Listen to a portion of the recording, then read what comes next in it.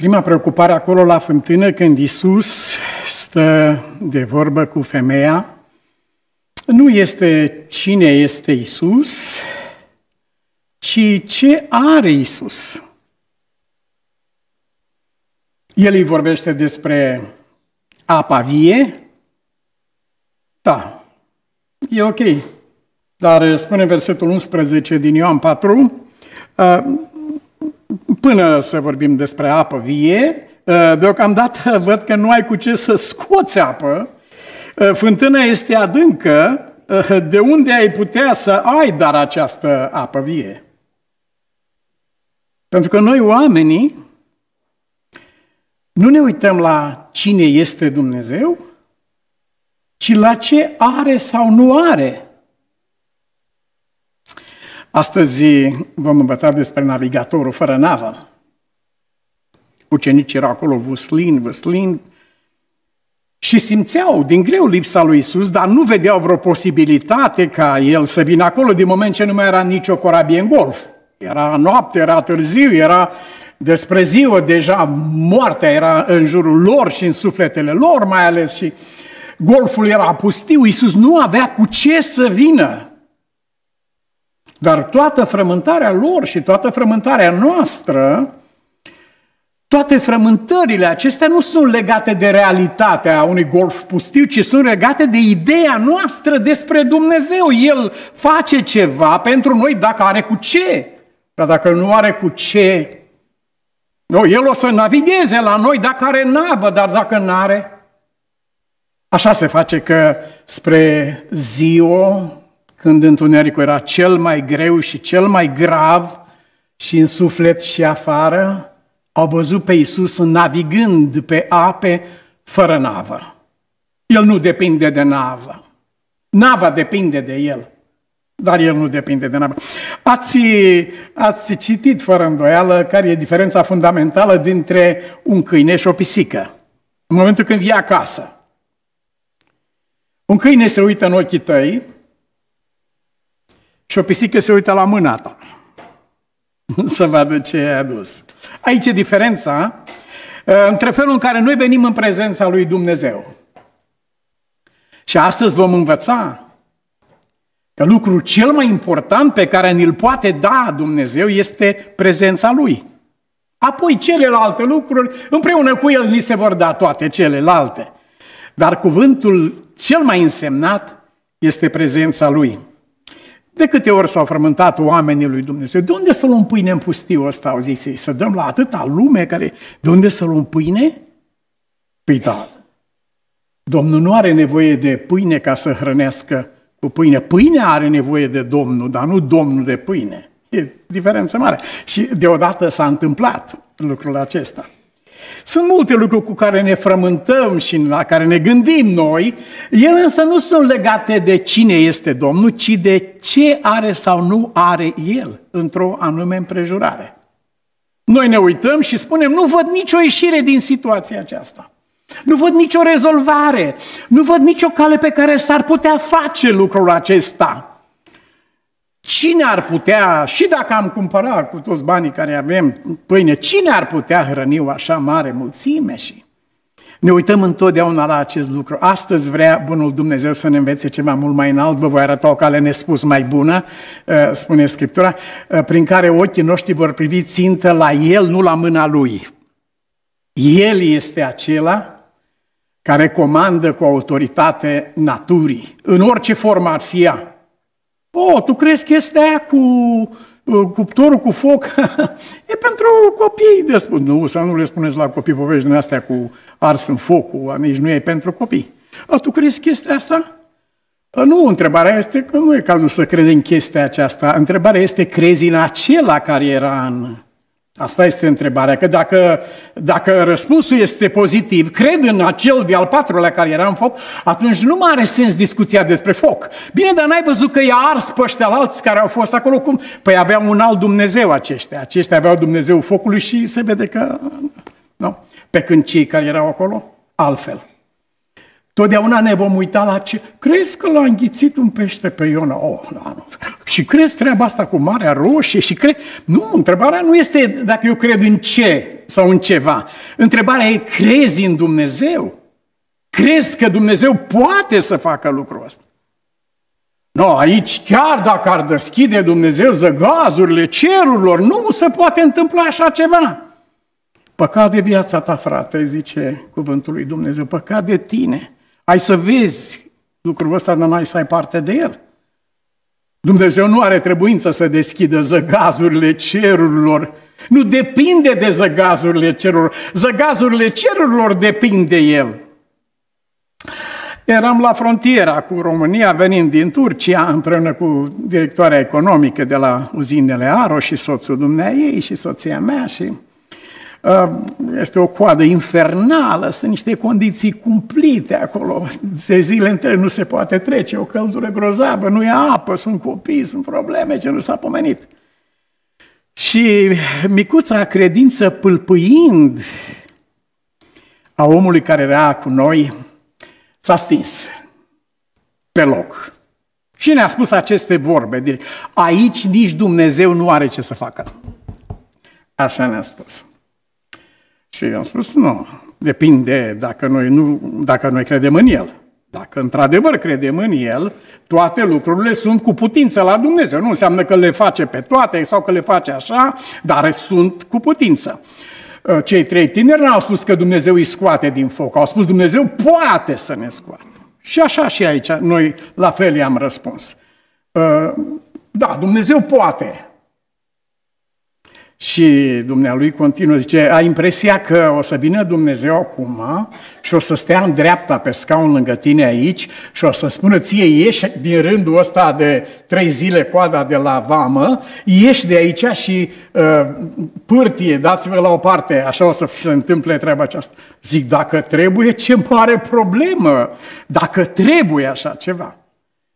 Și nu peste mult timp, uh, comandantul punctului de vamă, ofițerul Velicu, a venit la geamul mașinii noastre, dintre sute mii de mașini care erau acolo, a bătut în geamul nostru și a spus, poți să mă duci până la Pitești? Cum să nu, domnul comandant, mai intră în discuție? Gata, a urcat în dreapta, a stat pe scaunul din dreapta și a spus, ieși din coloană. Mi-e frică să ies pentru că, uite, pe ăsta l-au răsturnat care a vrut să iasă. Uite mașina în șanț.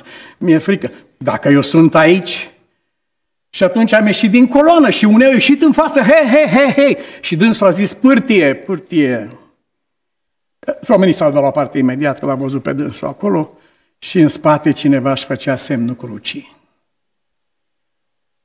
Toate lucrurile sunt cu putință la Dumnezeu, nu neapărat sunt necesare. Problema noastră este că noi nu ne uităm la cine este El, ci la ce are sau nu are El și ne uităm în ce măsură așa ceva ar fi posibil pentru noi sau după mintea noastră sau n-ar fi posibil. Și atunci punem în dreptul lui Dumnezeu ceea ce de, de fapt este în mintea noastră și este e foarte grav lucrul acesta. Odată mintea Ehm, acceptând o idee despre o persoană, ne-a, să zicem cum uh, ne-a spus povestea la copii, ne-a mințit cineva odată și odată, odată mintea, primind o astfel de informație și punând o astfel de ștampilă peste un om, omul ăsta poate să fie născut din nou și poate să moară în mormânt, să fie acolo. Uh, uh, ștampila aceea pe care i-am pus-o noi rămâne asupra lui. Și nu numai asupra oamenilor ci asupra lui Dumnezeu. Odată ce ne formăm o idee cu privire la Dumnezeu, este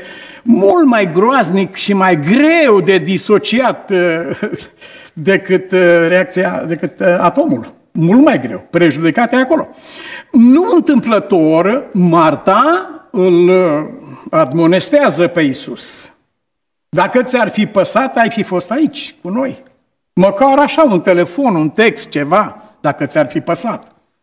Dar nici măcar un text n-ai trimis, n-ai, n-ai dat niciun semn de viață. Dar de unde ai ideea asta că lui nu-i pasă? Păi de când cu sormea, de când cu Maria. Atunci mi-am format eu ideea asta că el e un pic nepăsător și normal că acum a fost chiar gravă situația și mi s-a confirmat că așa este. Faptul că am primit și vorba, am făcut toate eforturile și odată intrată o astfel de idee în minte cu privire la Dumnezeu nu mai este ușor.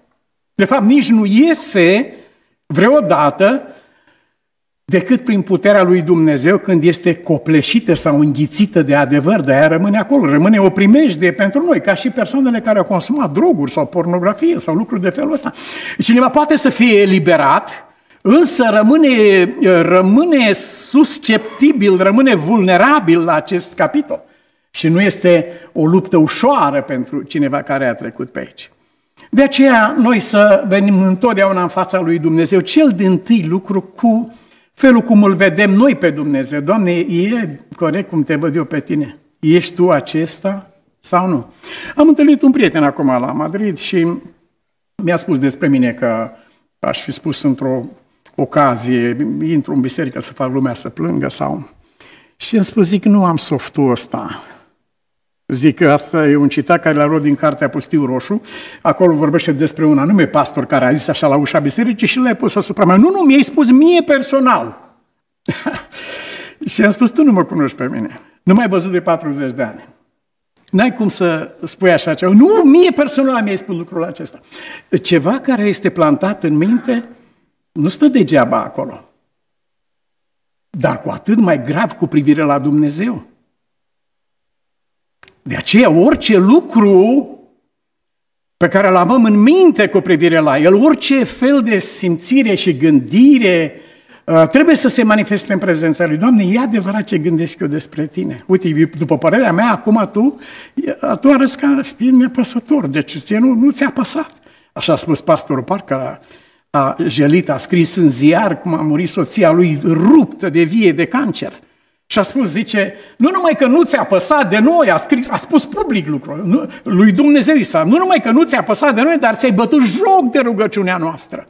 Dacă eu vedeam un câine în stradă chinuindu-se cum s-a chinuit soția mea, eu interveneam acolo să ajut.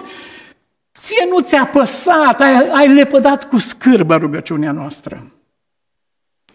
Cuvinte foarte grele, foarte grele, pe care Dumnezeu să le ascultă cu multă înțelegere. Ne mângâie chiar în timp ce înjurăm și blestemăm, ne mângâie și spune, te înțeleg. Știu de ce spui lucrul ăsta. Vorbește supărarea din tine. Vorbește suferința din blestemă pe Dumnezeu și mori. Nu, nu, nu, nu. nu tu nu ai intenția aceasta, dar tu spui că te doare atât de rău că nu poți să supraviețuiești acestei situații. Înțeleg, te înțeleg despre ce este vorba. Dar nu uita niciodată gândul tău despre Dumnezeu, cum îl vezi tu pe Dumnezeu, cum ți l-a predat părinții tăi, cum ți l-a predat biserica, imaginea pe care o ai tu despre Dumnezeu trebuie să fie vie și trebuie să fie în permanență adusă înaintea lui Dumnezeu. E o problemă de viață și de moarte, nu este o problemă de teologie.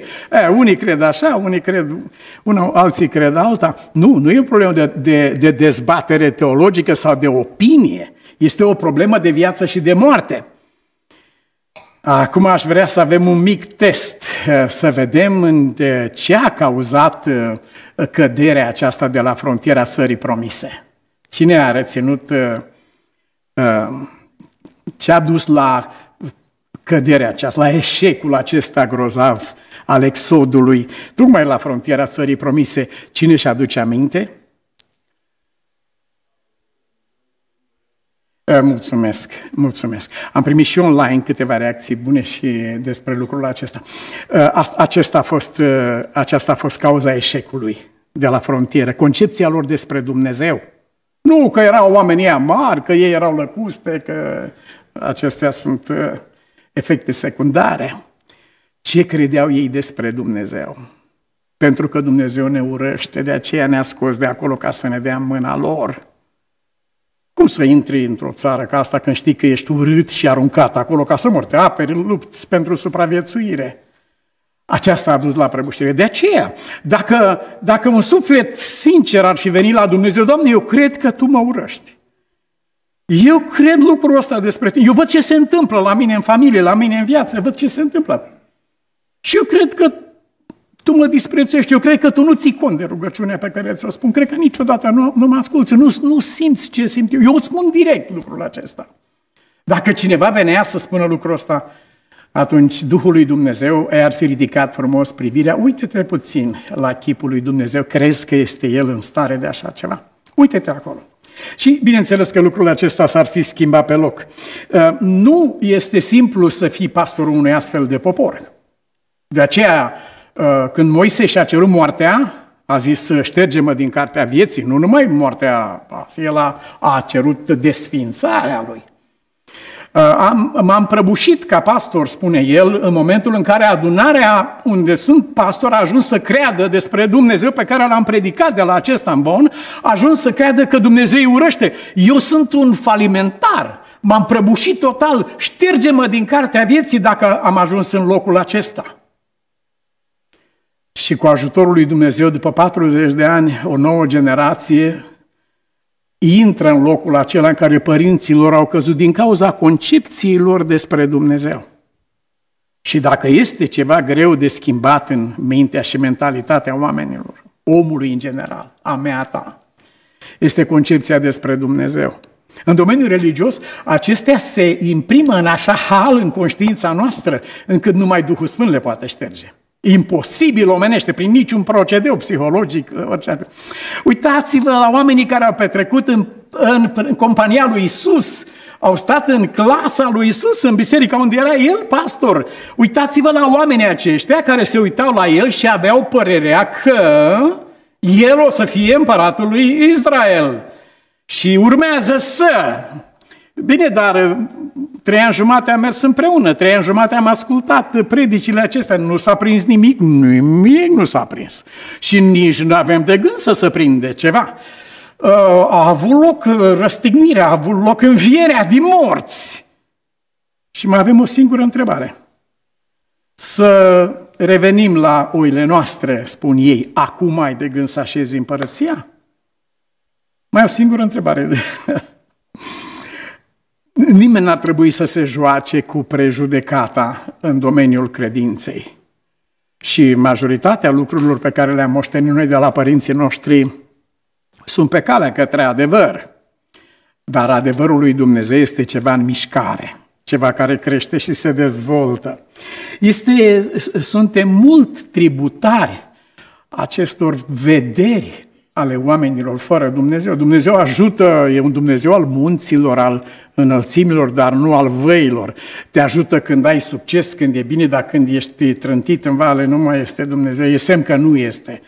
Și atunci Domnul a zis, zice, hai să ținem o predică pentru oamenii aceștia și să le arătăm că Dumnezeu este și al munților și al văilor. Și au, a fost ținută predica aceea în singura cale care putea fi înțeleasă de către oamenii aceia.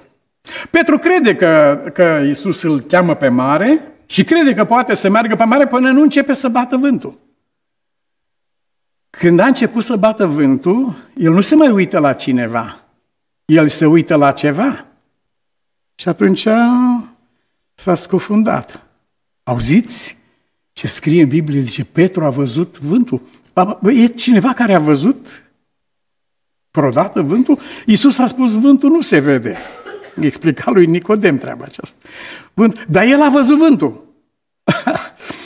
Păi, sigur că nu se vede. Știm treaba asta, ar fi o copilărie. Sigur că vântul nu se vede, dar dacă ajungi să te uiți într-un anume fel, ajungi să vezi până la urmă.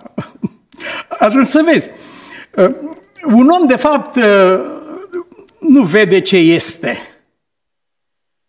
ci vede ce crede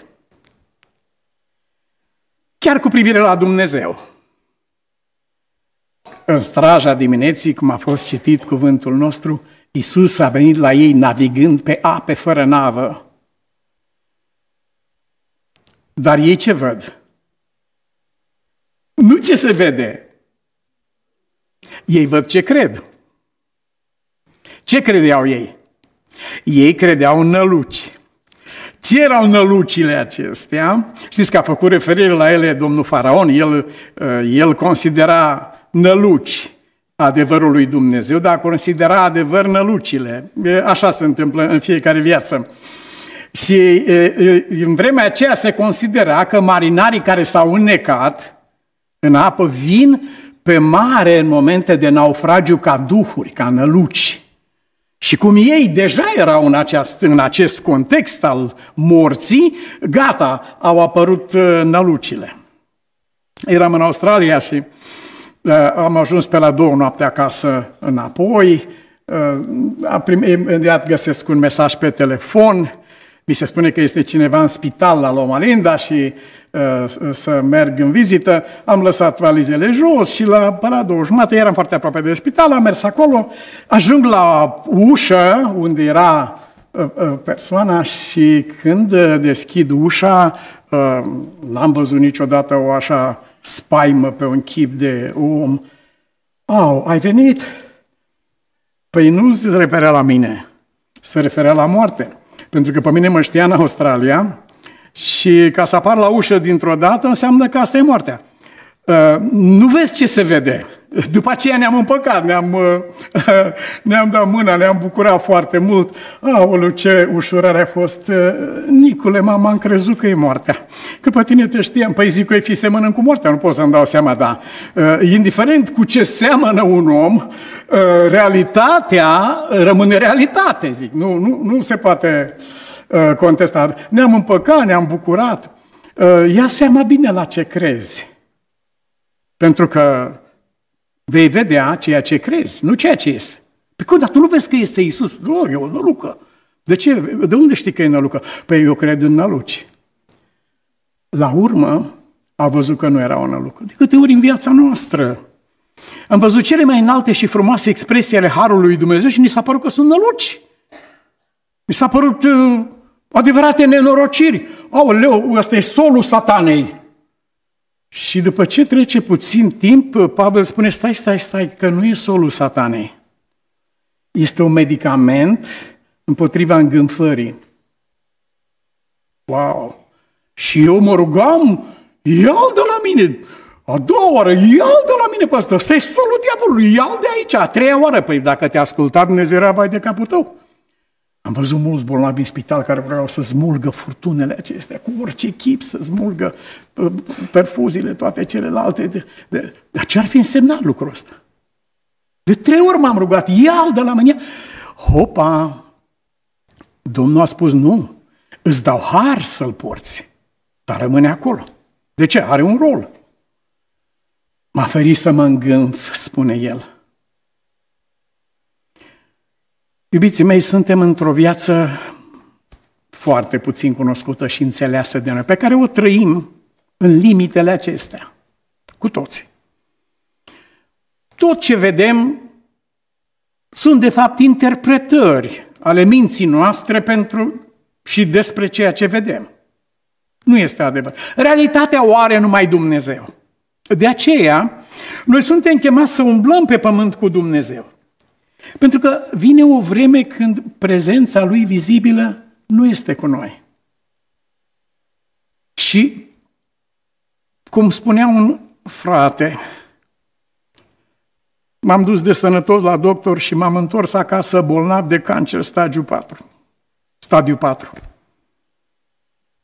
M-am dus sănătos, nu știam că am ceva și m-am pomenit pe lista asta. Și mi-a spus, zice, în clipa aceea a dispărut Dumnezeu, a dispărut tot.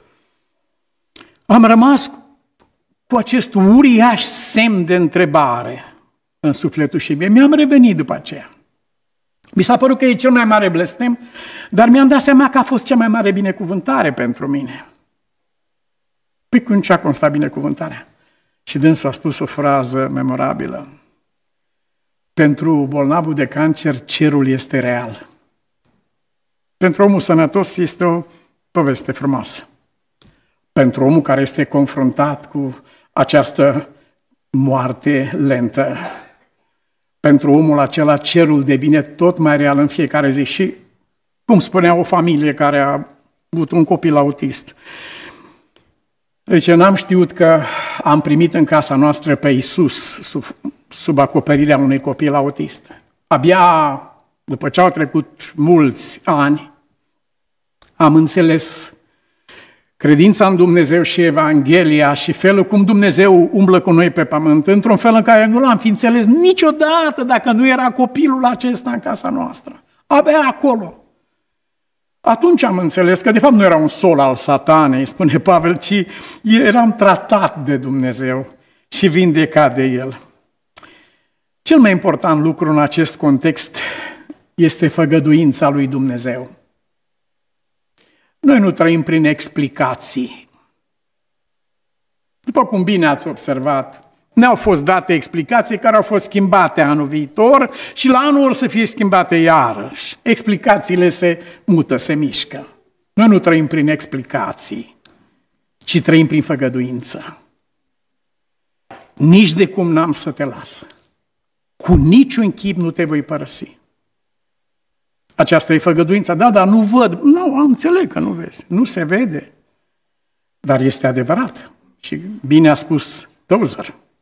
Eu cred în ceea ce nu se vede, nu cred în ceea ce este inexistent, dar în ceea ce nu se vede, dacă Dumnezeu a spus acest lucru, l-am primit din toată inima și din tot sufletul meu.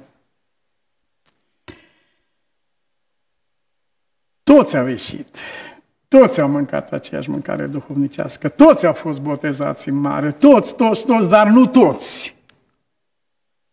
Încheie acest, această dureroasă predare din 1 Corinteni 10. Nu toți au găsit de bine pe Dumnezeu, l-au găsit de bun.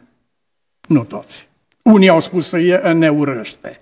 Dumnezeu ne urăște. Alții au spus, nu, este e un nolucă. Și unii oameni uh, au refuzat schimbarea chiar atunci când au fost confruntați cu adevărul. Au refuzat schimbarea. Mai degrabă au murit, am văzut un domn în vârstă.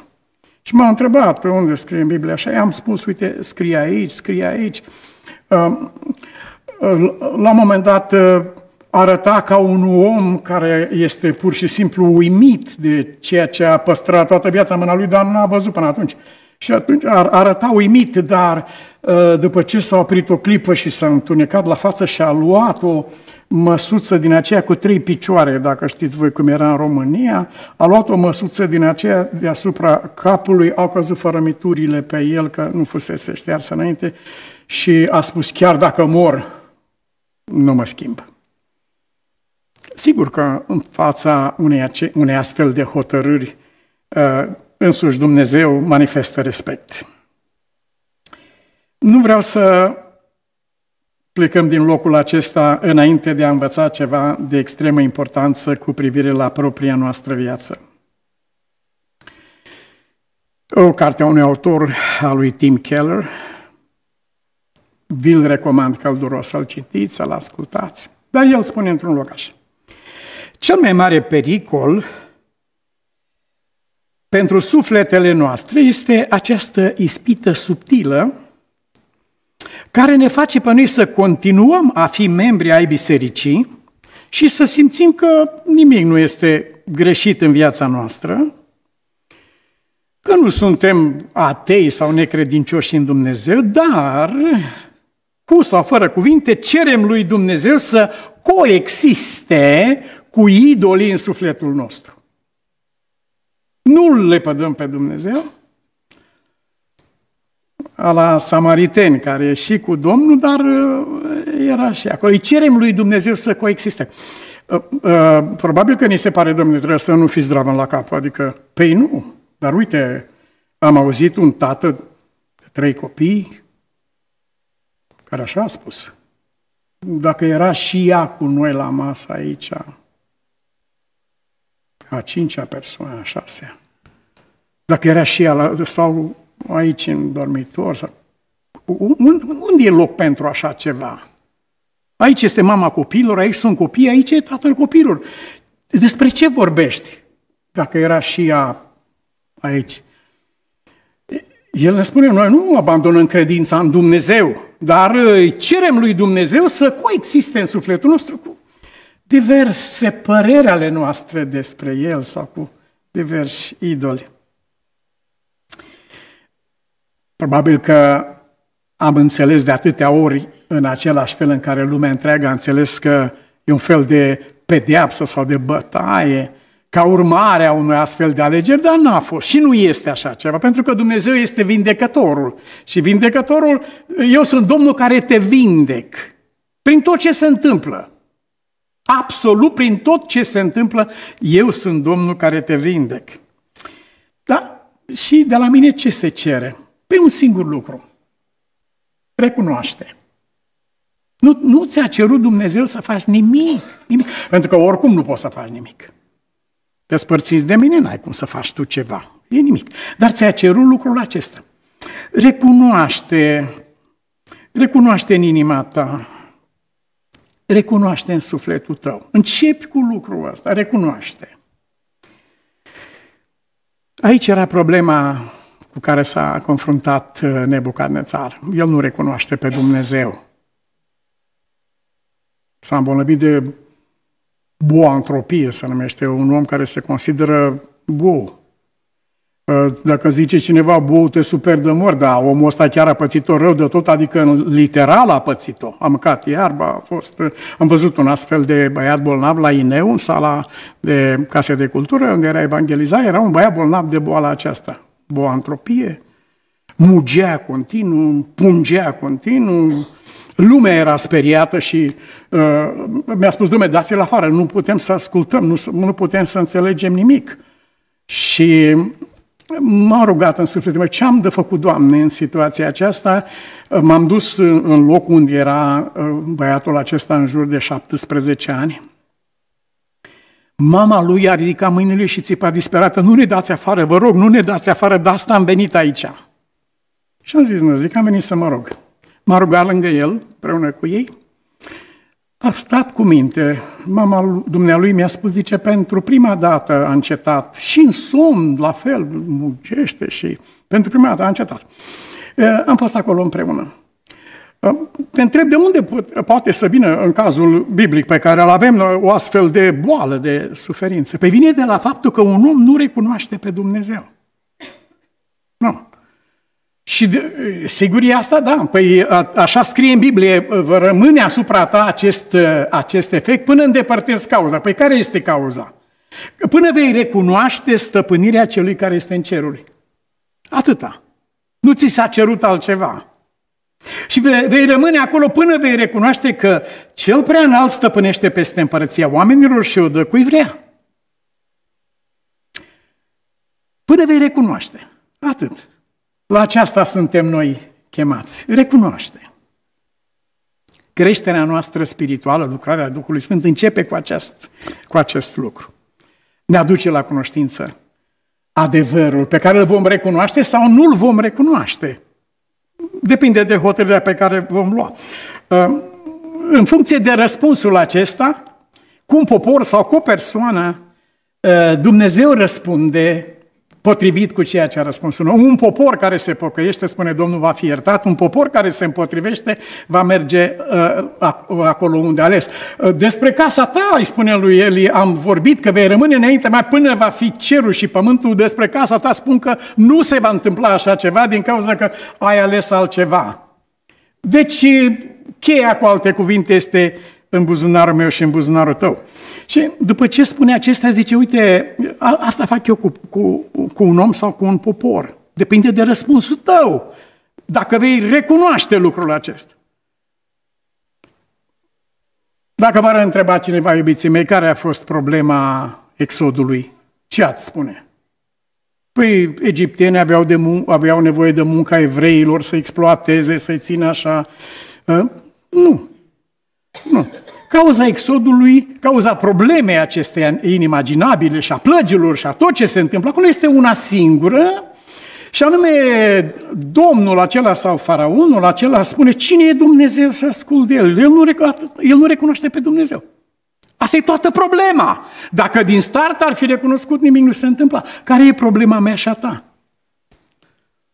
Recunoști tu pe Dumnezeu în viața ta și căile Lui și mijloacele Lui Dumnezeu și timpul Lui Dumnezeu. Și recunoști aceste lucruri. Le primești în suflet ca fiind căile și mijloacele Lui Dumnezeu de pentru vindecarea ta. Îl vezi pe Dumnezeu ca fiind vindecătorul tău sau îl vezi ca fiind cel care te urăște și cel care e semnul morții în Luca pe ape? Cum îl vezi tu pe Dumnezeu, cum îl recunoști pe Dumnezeu. Și Domnul spune, hai să facem un test acum. Deci, uite, eu vă spun vouă, spunea uh, profetul, eu vă spun vouă că uh, drumul pe care mergeți acum uh, este acela care duce la o nenorocire. urmează o mare nenorocire pe drumul ăsta. Încă puțin de mers și este o mare nenorocire acolo. Și eu vreau să nu se întâmple lucrul acesta, spune Domnul. Uite, nenorocirea este pregătită împotriva voastră, de aceea, eu vă spun ceva, spune Domnul. Întoarceți-vă fiecare de la calea voastră ce are, îndreptați-vă umbletele și faptele. Bine, cum rămâne cu trecutul? Cine a zis și a făcut? Uită treaba aceasta. Eu te-am chemat la momentul prezent, pune capăt păcatelor tale, i-a spus lui. Pune capăt în momentul ăsta. Păi da, dar știi ce trecut am eu? Lasă-l trecut acolo. Acum, acum pune capăt păcatelor tale ca să ți se prelungească fericirea. Altfel, Uite, întoarceți-vă fiecare. Dar ei zic, iată răspunsul, degeaba. Noi vom urma gândurile noastre și vom lucra fiecare după pornirile inimii noastre. Acesta este versetul 11, Eremia 18. Degeaba vorbești cu noi, degeaba încerci să ne convingi, degeaba. Noi vom urma gândurile noastre. Eu am ideea mea despre asta. Eu cred lucrul ăla. Eu voi urma gândul meu.